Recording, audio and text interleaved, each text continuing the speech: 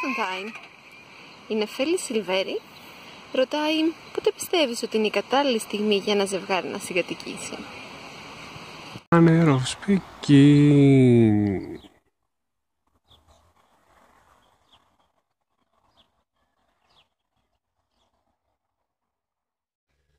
Λοιπόν, αυτό το βιντεάκι γίνεται γιατί πολύ απλά πρόκειται να μεταπομίσω, οπότε ήθελα ρε παιδί μου έτσι να έχω μια εικόνα το πρώτο δωμάτιο που, που είχα στην Ολλανδία. Ε, συγκατοίκηση. Πολύ ιδιαίτερο χαρακτηριστικό για μένα είναι να έχει κοινά όνειρα με τον άλλον. Γενικά αυτό έχει να κάνει και με τις σχέσεις. Αλλά στη συγκατοίκηση που υποτίθεται η συγκατοίκηση είναι ένα βήμα που θα πάει λίγο πιο παραπέρα τη σχέση και θα την κάνει πιο σοβαρή τέλος πάντων και ότι θες να είσαι με αυτόν τον άνθρωπο. Άρα το να έχεις κοινά όνειρα είναι πάρα πολύ σημαντικό έτσι. Δηλαδή το πιο απλό. Αν ένας άνθρωπος θέλει παιδιά και ο άλλος δεν θέλει, αυτό, αυτό κάποια στιγμή θα δημιουργήσει πολύ μεγάλη ρήξη, ρε παιδί μου, μέσα σε μια σχέση. Δεν γίνεται δηλαδή να, να περάσει έτσι, ας πούμε, ή κάποιος θα αλλάξει και θα. Κάποιος θα αλλάξει τα θέλω του, ή κάποια στιγμή θα δημιουργήσει πολύ μεγάλο πρόβλημα. Είναι κάποια πράγματα. Όταν θες τα ίδια πράγματα με τον άλλον, αυτό σε κάνει να έχεις και μια κοινή πορεία. Έτσι. Αυτό σημαίνει και σχέση, είναι σε μια κοινή πορεία. Τώρα, Άρα και το βήμα του να συγκατοικήσεις σημαίνει ότι πάει και λίγο μετά πιο. ότι θες να είσαι με αυτόν τον άνθρωπο. Τώρα πέρα, πέρα από αυτό το κομμάτι το ότι ε, ε, έχουμε κοινά όνειρα, κάτι άλλο που νομίζω είναι σημαντικό. Εντάξει, πρέπει να ξέρεις τον άλλον, έτσι πρέπει να ξέρεις με ποιον πας να μείνεις μαζί, ας πούμε, γιατί αν δεν το ξέρεις, αν δεν μπορείς να ανοιχθείς τα ελαττώματά του, ας πούμε. Ε, εντάξει. Νομίζω ότι αυτό κάποια στιγμή θα οδηγήσει σε μια σχέση που δεν θα βοηθάμε στον άλλον, αλλά δεν θα υπάρχει κοινή πορεία. Εντάξει, και όταν φτάνεις, ας πούμε, να μένεις σε ένα σπίτι με έναν άλλον άνθρωπο και να μαλώνετε πέντε φορές ρε παιδί μου την ημέρα, εντάξει, παιδιά, αυτό δεν ξέρω κατά πόσο ας πούμε, μπορεί να βοηθήσει δύο ανθρώπους και να τους κάνει να πάνε παραπέρα. Σίγουρα πρέπει να δεχτούμε ότι θα υπάρξουν καυγάδε. Δεν γίνεται, δεν είναι όλοι τέλειοι.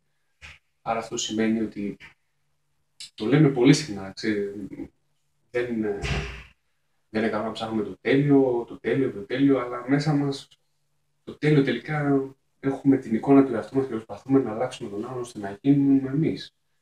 Άρα ένα πολύ σημαντικό στοιχείο είναι τελικά να μην θέλουμε να αλλάξουμε κάποιον. Αυτό βέβαια πάει λίγο στο προηγούμενο επεισόδιο, σε ένα μελλοντικό, γιατί anyway, κάτι άλλο ε, είναι αυτό, μιας και έτσι θα έχετε σίγουρα θα υπάρξουν καυγάδες και δεν μιλάμε τώρα για ένα μικρό καυγαδάκι που μπορεί να μαλώσει μια στο τόσο. Μιλάμε για σημαντικά θέματα. Έτσι. Εκεί είναι στο πώς, αν μπορείς να δεχτείς. Θεωρώ πάρα πολύ σημαντικό είναι αν μπορείς να δεχτείς στο πόσο ρε παιδί μου ο άλλος, ο τρόπος αντιμετώπιση του ε, σου ταιριάζει. Δηλαδή στο πώς μπορείτε να λύνετε μαζί τα προβλήματα. Αν αυτό σου ταιριάζει. Είναι πολύ Λοιπόν, πώ να το εξηγήσω, ρε παιδί μου, τώρα αυτό το πράγμα, για να γίνει κατανοητό. Και νομίζω ότι είναι ψυχοκατανοητό. Δηλαδή, πρέπει, πρέπει ουσιαστικά μέσα από ένα καυκά να μπορούν οι δύο άνθρωποι να, έχουν, ε, να, να το λύνουν αυτό το πράγμα με έναν τρόπο. Δηλαδή, ας πούμε, το ότι σηκώνεται κάποιος να φύγει από ένα σπίτι ξέρω εγώ, και να μην υπάρχει μετά μια κουβέντα και να μένεις στον τούκο και να το κρατάς και να το κρατάς και αυτό, ας πούμε, όλα αυτά μέσα σου γιγαντώνονται, κάποια στιγμή θα βγουν. Άρα καλό είναι, ρε παιδί μου, εντάξει, ναι, κάποιος μπορεί ας πούμε, να βγει μια βολτούλα, ας πούμε, τρία λεπτά, τρεις ώρες, τρεις εβδομάδες, εντάξει. κάνω, ας πούμε, και να γυρίσει και να είναι κόμπλε, να, να είναι χαλαρός, ρε παιδί μου, και να κάτσει να το συστήσει και ήρεμα. Να φέρει το χρόνο του να γεμίσει και να σκεφτεί. Ε, αυτό δηλαδή, να υπάρχει μια. Δεν θα πω κοινή, ρε παιδί μου, κοινή άποψη, να υπάρχει μια αμοιβαία κατανόηση στο πόσο άλλο σου λύνει τα προβλήματά του. Είναι... Και αν σε βοηθάει σε αυτό το πράγμα, γιατί εντάξει, πρέπει πέρα από το ότι είμαστε ζευγάρι, μα είναι καθένας μόνος του. Δηλαδή είναι λίγο. να έχει μια ιδιωτικότητα, ρε παιδί. Και αυτό είναι σημαντικό γιατί όταν θα παρουσιαστούν σημαντικά προβλήματα μέσα σε μια σχέση, αν αν αισθάνεσαι παραδείγματο χάρη ότι κάποιος δεν μπορεί να λύσει αυτό το πρόβλημα, δεν μπορεί να σε βοηθήσει εσένα να λύσει αυτό το πρόβλημα, αυτό θα είναι κάτι που θα γιγαντώνεται. Και και αυτό θα έχει κρατωθεί και αυτό θα γίνει ένα σπάσιμο και κάποια στιγμή γενικά. Ε, εμένα η άποψή μου είναι ότι αν κάποια στιγμή μια σχέση φτάσει σε ένα σημείο που σταματάς να σέβεσαι τον άλλον και να το θαυμάζεις, από εκεί και πέρα αρχίζει κάτι φόρα. Δηλαδή, είναι πολύ δύσκολο να σε ανανεύει από εκεί. Από εκεί και έπειτα, ρε παιδί μου, σε αυτό το κομμάτι. Τώρα τι άλλο.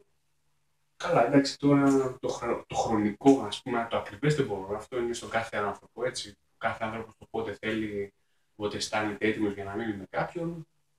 Αυτό είναι καθαρά υποκειμενικό, έτσι δεν, δεν το πάω κανεί αυτό το θέμα. Το πόσο τι πείρα έχεις, πόσο χρόνο θες και όλα αυτά είναι ότι έχεις ο καθένας και πώς θα έχει επεξεργαστεί μέσα του. Αυτά. Κουλ. Οπότε Πασούλα, Ιταλία.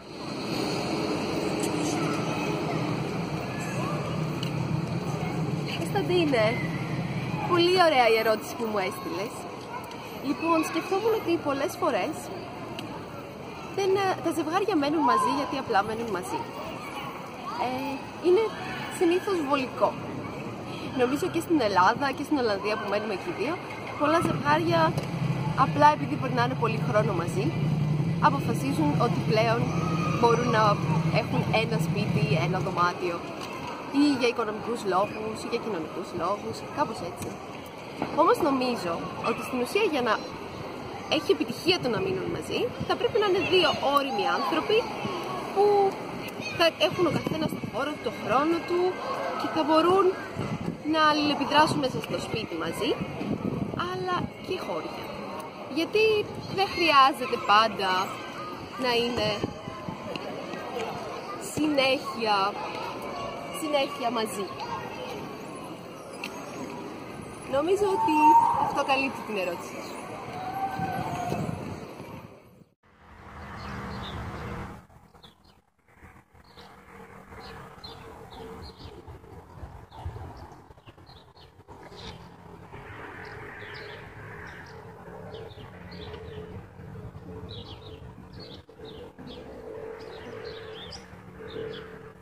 Δεύτερη ερωτησούλα για σήμερα, εξτραδάκι και να σου μιλήσουμε τη δέσμη στο τηλέφωνο να δούμε τι έχει να, να μας κάνει ερώτηση. Να, για πες, ερώτηση να ακούσω. Κωνσταντίνε, Ναι. η ερώτηση μου είναι, από την εμπειρία σου, ποια είναι η διαφορά μεταξύ φλερτ με Ελληνίδες, φλερτ με Ολλανδές;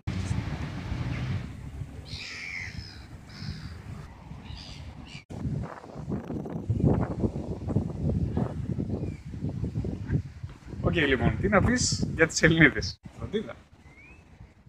Προφέρω. Ε, αυτό έχει λίγο συνδέεται με την προηγούμενη που είχαμε κάνει για την κρίση, ρε παιδί μου. Είναι στο πώς μεγαλώσαμε στα κοινωνία. Γενικά θεωρώ ότι οι Ελληνίδες φροντίδα. Προφέρω. έχουν μεγαλώσει εγκλωβισμένες στο οικογενειακό τους περιβάλλον και στην οικογενειακή θαλπορή, φροντίδα, προτέρ. Οπότε το ζητάνε αυτό και σε μια σχέση θέλουν να αισθάνονται μοναδικές. Ε, καλά, αυτό ισχύει λίγο και για τον Έλληνα άντρα. Φροντίδα. Όλα αυτά είναι παρατηρήσεις, παιδιά. Δεν έχω κάνει κάποια έρευνα. Ε, δεν λέω ότι είναι καλύτερο, ότι είναι. Λέω τις διαφορές. Δηλαδή αυτό, ας πούμε. Η μεγαλύτερη διαφορά είναι ότι οι Ολλανδές δείχνουν αυτό που αισθάνονται. Είναι πιο άμεσες και πιο προσιτές. Αυτό είναι δηλαδή, ακόμα κι αν αρέσει σε κάποια στον δρόμο, θα σε προσεγγίσει ρε παιδί μου, αλλά δείχνουν αυτό που αισθάνονται. Δεν έχει κόμπλεξ ας πούμε, σε αυτό το κομμάτι, ούτε θα πρέπει να την κυνηγήσει, ούτε θα βγείτε σαν δύο άνθρωποι που θέλετε να γνωριστείτε και όπου πάει, όπου πάει. Δείχνουν αυτό που αισθάνονται. Κάποιες φορές, ας πούμε, ακόμα και στο σεξ, μπορεί να σου δείξουν ρε παιδί μου, άμα τους αρέσει ή όχι κάτι. Δηλαδή δεν ξέρω, εντάξει κάποιοι φίλοι μου το πάνε έτσι.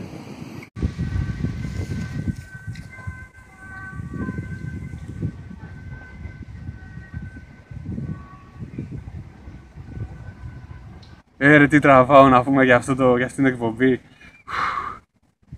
Ως την επόμενη φορά, subscribe, μηνυματάκι, ό,τι θέλετε και τα λέμε. Γεια χαρά.